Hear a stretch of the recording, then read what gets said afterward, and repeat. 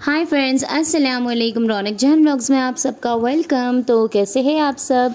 तो आज मैं बना रही हूँ हमारा South Indian special coconut chicken curry जो बहुत ही फ़ेमस है और यहाँ पे हर घर में ज़्यादा से ज़्यादा बनता है। ये रेसिपी बहुत ही हेल्दी रेसिपी है तो चलिए देखते हैं इसके सारे इंग्रेडिएंट्स तो फ्रेंड्स कोकोनट चिकन करी बनाने के लिए हम लोगों ने ले लिया है एक किलो चिकन इसको अच्छी तरीके से मैंने धो ली हूँ। धो के अच्छी तरीके से इसका पानी मैंने ड्रेन कर ली हूँ। और इसके बाद सबसे पहले हम लोग चिकन को करेंगे मैरिनेट तो सबसे पहले हम लोग ले लेंगे अदरक लहसुन का पेस्ट दो टेबल स्पून भर के मैंने अदरक लहसुन का पेस्ट ले ली हूँ। और इसके अंदर हम लोग डाल देंगे हाफ़ टेबल स्पून हल्दी। हल्दी ले लेंगे, नमक पेस्ट के अकॉर्डिंग आप लोग यूज़ कर लीजिएगा। और इसमें अदरक लहसुन के पेस्ट में मैंने थोड़ी कोतमीर भी पीस के डाल दी हूँ, इससे फ्लेवर बहुत अच्छा आता है चिकन के सालन में।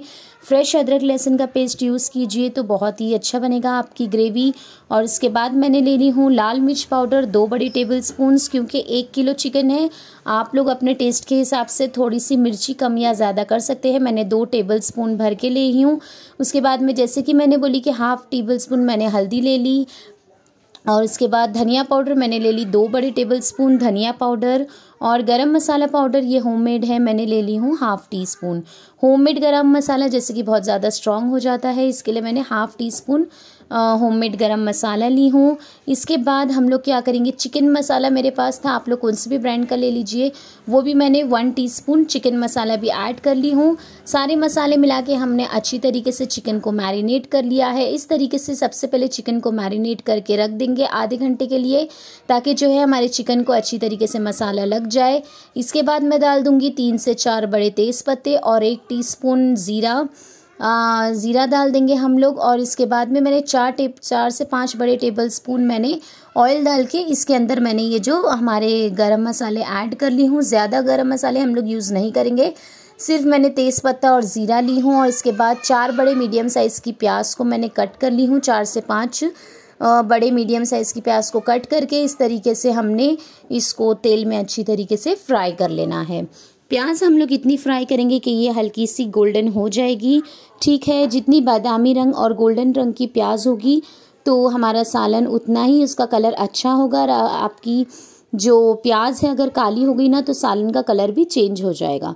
तो ध्यान दीजिएगा कि आपकी प्याज का कलर इस तरीके से हल्का बादामी कलर हो और जब तक जो है हमारा चिकन भी अच्छी तरीके से मैरिनेट हो गया हाफ़ एन आवर के लिए तो अब ये देखिए, प्याज भी हमारी अच्छी तरीके से लाल हो गई, गोल्डन ब्राउन हो गई। तो अब हम इसमें जो ये मैरिनेट किया हुआ जो चिकन है, वो इसमें डाल देंगे। इसको अच्छी तरीके से डाल के एक से दो मिनट के लिए हम लोग, है ना, ये जो चिकन को अच्छी तरीके से भून लेंगे। ठीक है? तो जैसे कि मैं एक हाथ से मैंने कैमरा पकड़ा हुआ था तो मैं एक हाथ से चम्मच चला रही थी और कैमरा स्टॉप करके मैं मसाले अच्छी तरीके से मिक्स कर रही थी, फिर आप लोगों को बीच बीच में बता रही थी।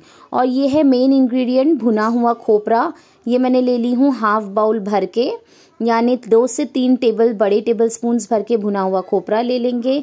फ्रेश खोपरा है ये जो सूखा खोपरा हम लोग है ना ज़्यादातर जो कुकिंग में यूज़ करते हैं फ्रेश सूखा खोपरा, इसको अच्छी तरीके से भून के दो से तीन बड़े चम्मच हम लोग टेबल स्पून से डाल देंगे। फ्रेश धनिया पत्ती मैं इसमें डाल दूँगी।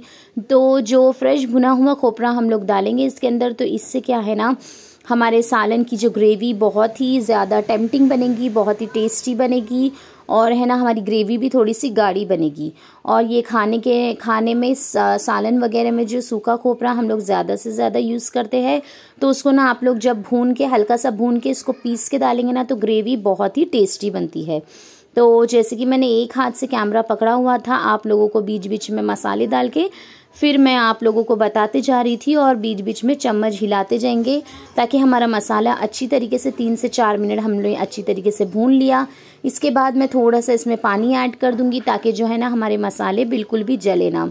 खोपरा डालने के बाद और फ्रेश धनिया की पत्ती डालने के बाद जैसे कि सारे मसाले ऑलरेडी चिकन में हमने डाल दिया था। तो अलग से हमने कुछ भी मसाले नहीं डाले। मैरिनेशन करने के टाइम पे सारे मसाले ऐड किए हुए हैं। और अब हम इसमें डालेंगे टमेटो की प्यूरी, चार से पाँच बड़े साइज़ के टमाटर। हमने एक किलो चिकन के लिए चार से पाँच मीडियम साइज़ के टमाटर की प्यूरी बना ली। अब ये टमेटो प्यूरी हम लोग ऐड करेंगे। और ये टमेटो प्यूरी डालने के बाद थोड़ा सा नमक भी आप लोग ऐड कर दीजिएगा, क्योंकि थोड़ा सा नमक का फीका हो जाएगा तो इसके लिए नमक भी थोड़ा सा देख के ऐड कर लीजिए और इसको अच्छी तरीके से तीन से चार मिनट भून लेंगे। अच्छी तरीके से भूनने के बाद हम लोग इसमें हाफ़ ग्लास मैंने थोड़ा सा ही पानी डाल के इसको चिकन को गलने के लिए रख दी हूँ। और भूनने के टाइम पे आप लोग देखिए, अच्छी तरीके से भून के मैंने इसमें पानी डाल दी। और जैसे कि हमें अच्छी अच्छी सेमी सॉलिड ग्रेवी चाहिए तो जैसे कि भुना हुआ कोकोनट चिकन जो है हम उसको अच्छा गाढ़ी ग्रेवी की तरह बनाएँगे। तो इसके लिए मैंने कम पानी डाला है। अगर आपको है ना थोड़ी सी थिक नहीं चाहिए तो आप लोग थोड़ा सा ज़्यादा पानी डाल के चिकन को गला दीजिए आपके हिसाब से। तो अब ये चिकन को हम लोग है ना अच्छी तरीके से गलने के लिए रख देंगे। माशाल्लाह हमारी ये जो कोकोनट चिकन ग्रेवी है बन के रेडी हो चुकी है। इसको सिर्फ़ हमें पंद्रह से बीस मिनट मैंने मीडियम टू हाई फ्लेम पे अच्छी तरीके से पका लिया। सारे टमेटो का उसका सारा पानी अच्छी तरीके से सूख गया, माशाल्लाह।